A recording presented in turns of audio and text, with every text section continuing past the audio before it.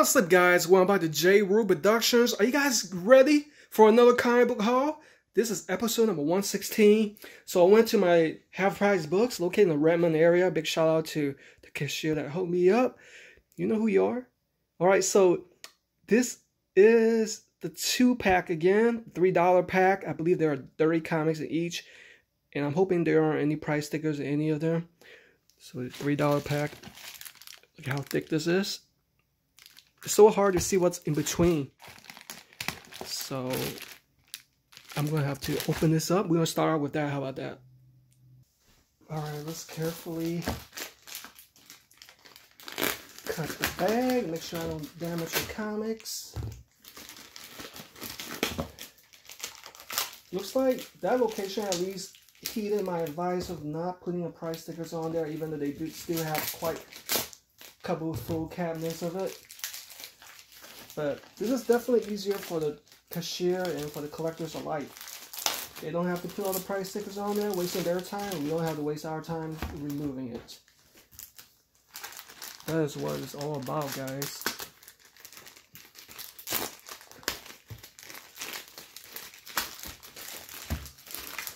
They get their money, and we get our comics. So wish you luck, guys. Hopefully there are some key issues in here. I can't make any promises, but we'll see how my luck is for this haul. Here we go. So here we go. Bart Simpson, Menace to Society number 5 from Bongo Comics. Mobile Police Patlabor. No idea what that is. Viz Select Comics. I'm not even sure if they're still around, guys. Kind of looks like a knockoff of Robotech. Here's another one. Mobile Police. Looks like issue number five. I'm pretty sure it's black and white. Yeah, it is, guys. And that looks like something from the early 90s. Number four. Oh, here's a pretty nice one. Bart Simpson's Son of Homer. Fabulous first issue collector's item. I didn't even know this one came out. We have another Bart Simpson, Nature Boy number two. I know some of you guys are Bart Simpson or Simpsons fans, and I'll definitely be giving these out. Number three, got number four, Juvenile Jokester. Oh, what the heck is this? That's weird. Warren Ellis, Strange Killings, Necromancer. Very creepy cover right there. If I have to say so myself, from Avatar Comics. Strange Killings. Issue number five. And here is um, issue number four. Nothing really heating up yet. Weapon X, after Xavier the Age of Apocalypse. That looks like uh, Wolverine with one of his arm cut off like Rick Grimes in the the Walking Dead comics. Excalibur, number four with uh, Nightcrawler and Sabretooth. Another Age of Apocalypse storyline. Gambit and the Externals. I'm actually looking forward to a Gambit movie. Hopefully that will be in the um, next MCU installment. Another Gambit and Externals is issue number two. What the heck is this? Webman? Blazing Adventure. I've never seen this before, guys. It looks really freakish. From Argosy Comics. Pretty sure they don't uh, not around anymore. Peter Cannon Thunderbolt from Dynamite Comics. Pretty cool cover right there. Kind of looks like the Phoenix, right? Hitman, number 12, local hero from DC Comics. And looks like Green Lantern.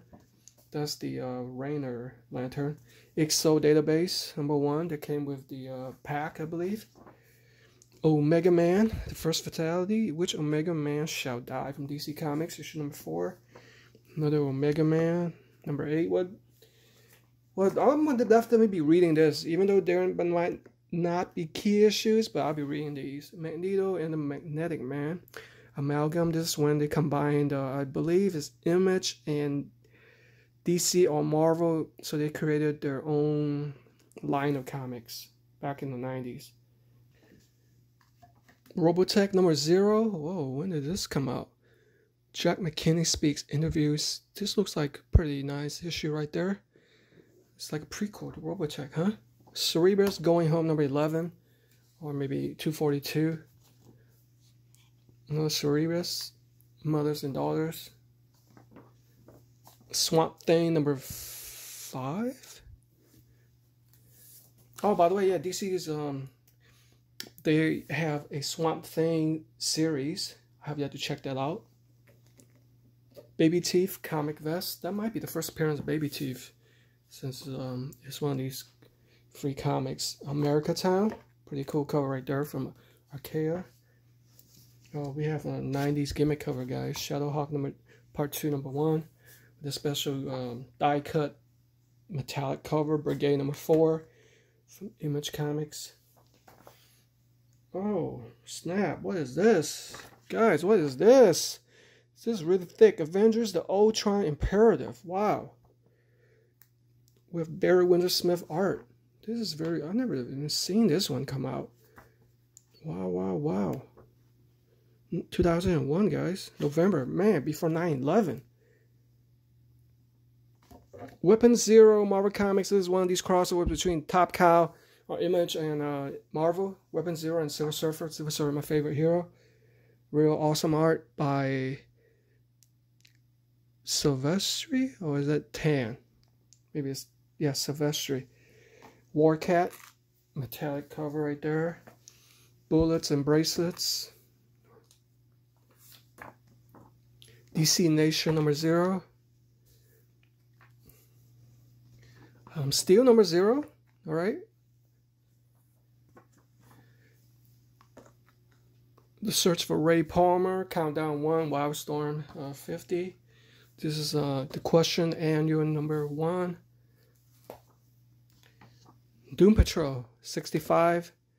Check out the series, guys. It's really awesome. You got Night Stalker, Night Stalkers, Midnight Suns, number one, still bagging boarded in the special collector's item. Here's one for Morbius, the Living Vampire. Uh, Blue Beetle number seven from Infinite Crisis storyline. Power Pack number 50, uh, double size issue. Snark Attack. Badger number 34 from First Comics. Badger is kind of like a weak version of Wolverine without the claws. That's all I can explain. And Justice League America number 37. Oh, the snap. There goes the price stickers right there. Oh, hold, hold on. Let me make sure there's none on the back. Justice League America number 37 with Booster Gold. That's it for the first pack. Hope I have better luck on the second one. Here we go, guys. Wish me luck. Justice League Europe number 21.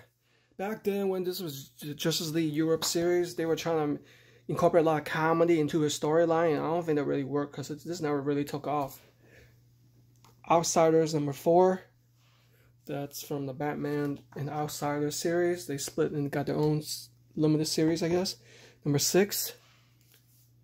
And that's the uh, Katana. That's the old Katana. Justice League Europe number six. Back to school. Here's number seven. Doom 2099, number 11. Here's number 6. Looks like they're fighting the uh, 2099 version of Fantastic Four. There you see Hulk is there, who replaced the Thing. The Punisher and Night Stalkers, number 6. Night Stalkers, number 12. Electrifying first anniversary issue. Night Stalkers, number 13. Doom 2099 number 4, The New King Tiger Wylde. Here's issue number 9. Monster Menace number 3. Speaking in truth, uh, I've never seen this come out, but the, right off the bat, I noticed the art is like Steve Ditko art. Because it looks like Speedball. Badger, unfortunately got the price sticker right there. In this camo suit. Psi-Lords. Number two, Reign of the Star Watchers. I never knew Valiant came out with this series. No One Escapes Fury from Image Comics. One of these uh, tribute to the old style comics, the Silver Age or whatever, Bronze Age, whatever you call it. Sludge number four from Malibu Comics. Cops number three. Starman number 13. Fighting Rampage. Mobfire from DC Vertigo, the mature series line. See, oh, it's Warren Pleece. I thought it was Warren Ellis. Mobfire, another one. Doom 2099, number 20. And uh, here's number 12. What's up with all these Doom 2099? Justice League International Special featuring Mr. Miracle 1990 World Tour. Indiana Jones, the Young Indiana Jones Chronicles from uh, Dark Horse comic. This is issue number two. Shade, the Changing Man number 16. Got some of these 90s Image Comics, Bloodstrike Assassin. Here's another one, issue number one. It's not Rob Liefeld art, but people are all trying to copy him. As you can tell by uh, his success, I guess. A lack of, maybe. Just like a Europe Lobo versus the Sparrow. By the way, Lobo is in the new uh, Krypton series. I might even check that out. That's supposed to be in season two. The Boris Adventure magazine number three, Boris the Bear. Boris magazine. Oh, at first I thought it was kind of like a dope. I guess it's not. Otherwise, it would say on the cover. Darkhawk number two, guest starring uh, Spider Man fighting against Hobgoblins. X-O Manowar number 18.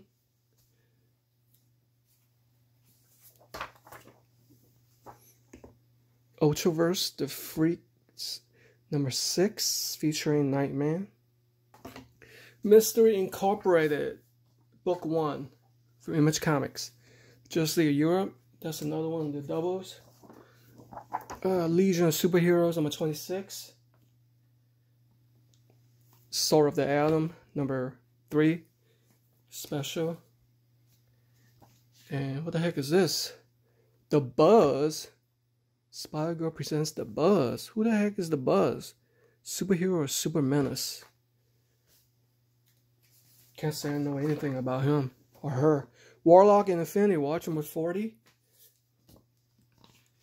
Uh, here's one from uh, Marvel Frontier Comics, another uh, branch, UK. I believe there's Dances with the Demons with the metallic cover on the front. Ultimate Mystery issue number 3. Got Fantastic Four, Sandoval Arts, X Factor Book 4, Xavier School, Alpha Flight number 55, Doom 2099 number 7, and the last of, from the second pack, Night Stalkers number 3, Nobody Crosses Blade. Unfortunately, I, yeah, no really key issues, guys. All right, and then I searched through some of their uh, other comics, you know, the regular price ones. And I found some nice ones that would be good in my collection. Green Arrow, this is issue number one. Mike Grell Green Arrow from the 90s, or maybe it was even the late 80s.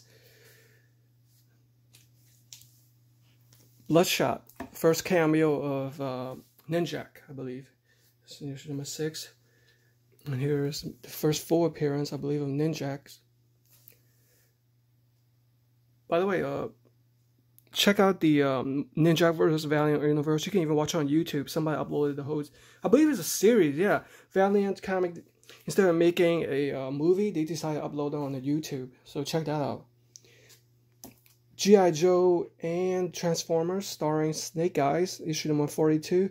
These higher issue G.I. Joe is very hard to come by, very hard to find, especially uh, with the team up of G.I. Joe and Transformers. These will do great in anybody's collection if you're a fan of both. Here's the new 52 The Flash number one. This is the Ivan Reis cover. So it's a variant cover. The other one is a little bit more boring. But this one is very unique indeed.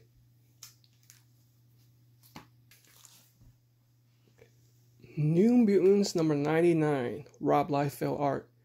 There you see Cable, Domino. Why this features the very first appearance of Shatterstar, you know, the dude with the two swords, fights like crazy, and Feral.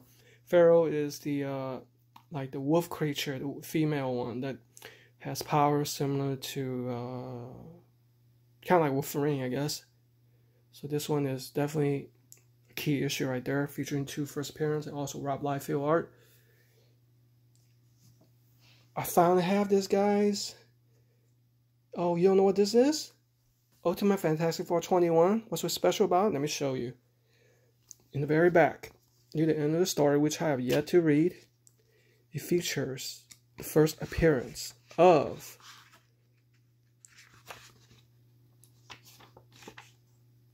you know something yet? Very first appearance of Marvel Zombies. That's right, baby.